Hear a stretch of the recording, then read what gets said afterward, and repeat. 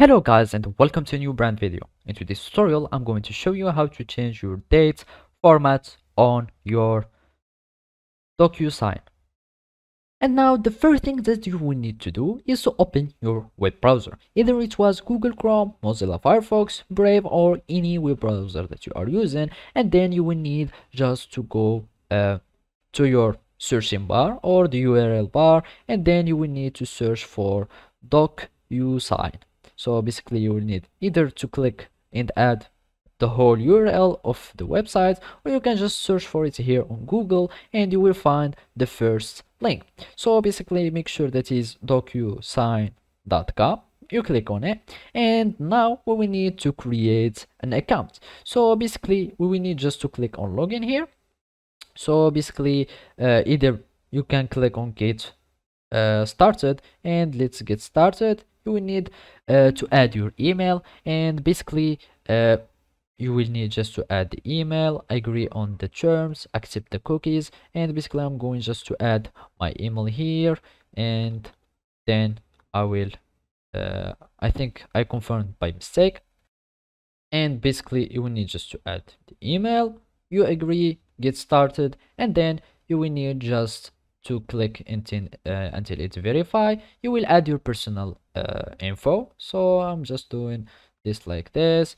You can add a phone number and then uh, so you need just to add a valid phone number and then you will need just to click on uh, next. And basically after that you will need just to verify your account. So you will receive a verification code you add the verification code and then you will be able to check your email and then uh, you will be able to sign in to your account on DocuSign. And now we will need just to click on next and we will confirm our account. And basically now our account is being created. You will need just to add your own password for the account and then click on next. And basically now we have finished creating the account. And basically all you need to do now is to follow these simple steps and as you can see this is our account that's being started. And now you can either finish your setup by adding your industry etc or you can just skip these uh, steps etc so basically we have finished our account. So now all we need to do is to go to the settings here.